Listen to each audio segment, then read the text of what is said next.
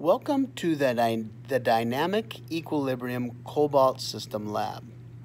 We are going to be looking at this reaction, which is very complex when you look at it, um, but we're really looking at the equilibrium of it. Is it going to shift to the reactant side, which we can see will make it look blue, or are we going to shift to the product side, which is pink? Now take a second and look at that reaction. Our first step is to make predictions on which way it will shift and the color. So take a second um, and pause the video once you look at this. What would adding heat do?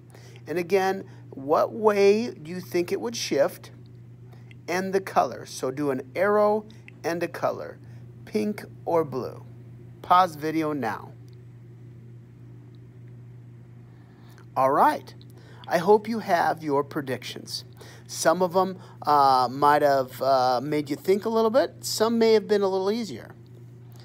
Now here, um, I have done step two and three for us, and that is to get a beaker on the hot plate and get some ice water. We're going to use those um, in a little bit.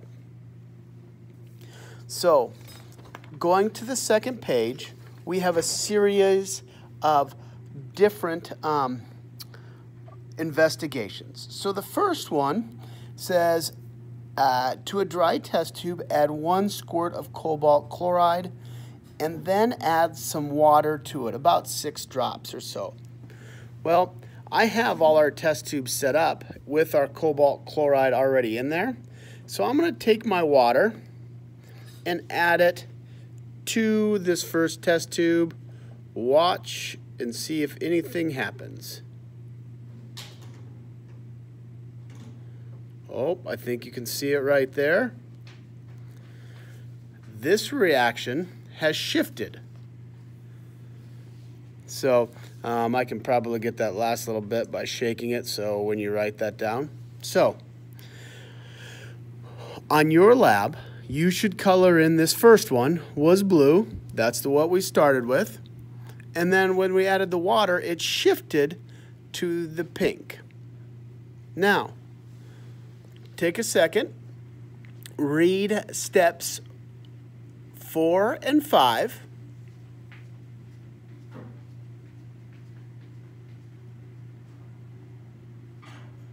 All right.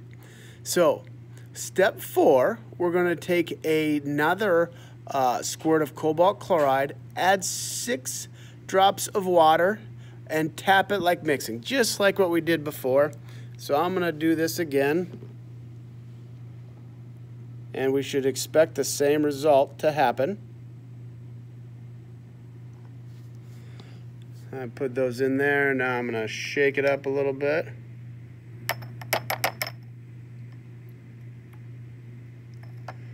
All right, I'm to put another drop or two in there.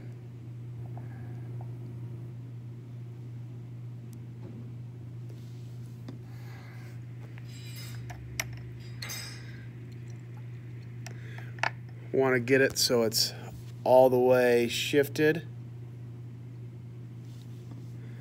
I don't want to go too crazy with it. All right. So there we see that we have our pink. Now, following along with there, that's our recorded uh, picture for number or step four. Step five is now to add some acetone. Now, Acetone is the active ingredient nail polish remover. I always have to say that in lab because if uh, anybody's wearing nail polish, um, they can come it can come off. So I'm going to slowly add my acetone to that, and let's see if it shifts to the other way. Oh, you can already see it. That's exciting. It is shifting and we can tap this tube or see the top part already. Shifting back to that beautiful blue chloride. Um, so we can look at that. There is step five. All right. Step six is to rinse them out. Lucky you guys I will do that for you. Go ahead and read step 8 and step 9.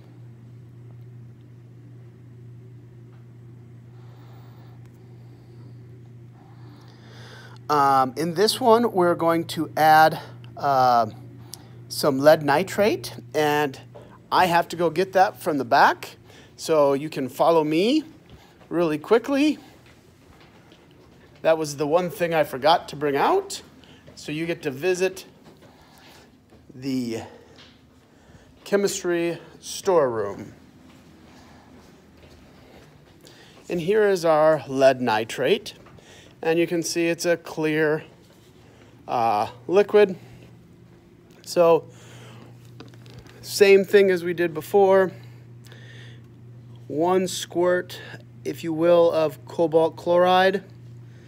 And that we know should look purple. That's our third test tube. And now we're going to add 10 drops or so of the lead nitrate. So here we go. Let's see what happens.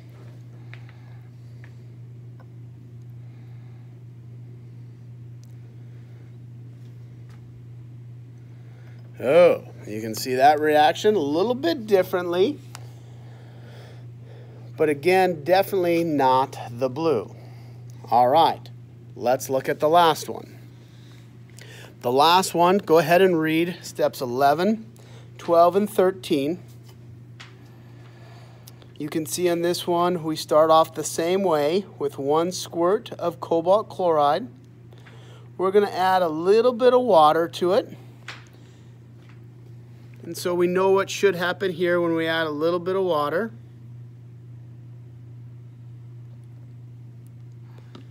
And now we're going to mix it. But we're going to put this in our water and see what happens. So here's our test tube. We're going to put it nice in that water and we're going to wait just a second.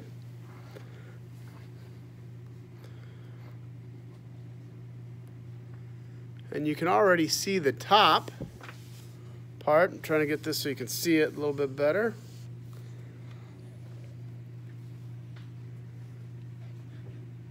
And it's almost going from the top down. And what is that doing? It's shifting in what direction? Wonder if your prediction is correct. Now we'll wait here just a second. Um, try to get it all, do a little mix with it. That will help. You can really see the nice blue there. A little bit of pink at the bottom. Again, we'll shake that. All right, now it's pretty much all blue. Um, step 14 is now we're going to take away the heat or cool it. So here we go. Take it, and we're going to set it in the ice water. Now, you can kind of see it down there um, in the ice, and I'll pull it out here in a second. Um, you can already probably see through there. I can see it.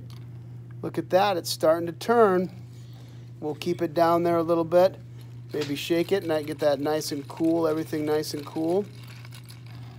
Oh, look at that. Now, that turned back to pink. What would happen if we put it back in the heat?